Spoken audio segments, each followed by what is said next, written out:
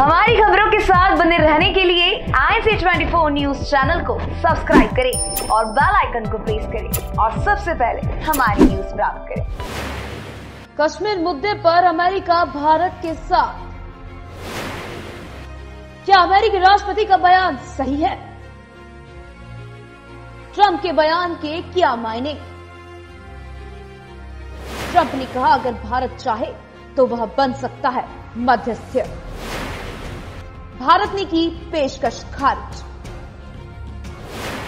अमेरिकी राष्ट्रपति Donald Trump ने पाकिस्तानी प्रधानमंत्री इमरान खान के साथ व्हाइट हाउस में बैठक के दौरान कश्मीर मुद्दे पर भारत और पाकिस्तान के बीच मध्यस्थ बनने की पेशकश की थी।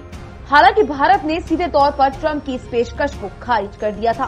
भारत ने कहा था, नई दिल्ली का रुख इस मामले पर पाकिस्तान के साथ द्विपक्षीय बातचीत कर रहा है। अधिकारी ने बताया कि कश्मीर मुद्दे पर जैसा कि मैंने कहा कि हम भारत और पाकिस्तान के बीच संबंधों में सुधार देखना चाहेंगे। इसलिए आपने राष्ट्रपति की सहयोग की पेशकश सुनी थी।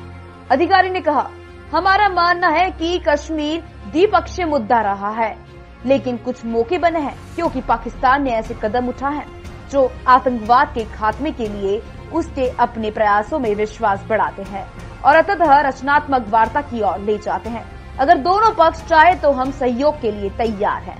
उन्होंने कहा कि हम दर्दनाक, पेशावर हमले के बाद पाकिस्तान के सभी दलों द्वारा तैयार राष्ट्रीय कार्य योजना के साथ साथ प्रधानमंत्री इमरान खान की उस निजी प्रतिबद्धता का भी समर्थन करते हैं कि पाकिस्तान की धरती पर किसी भी आतंकी समूह को संचालित नहीं होने दिया जाएगा।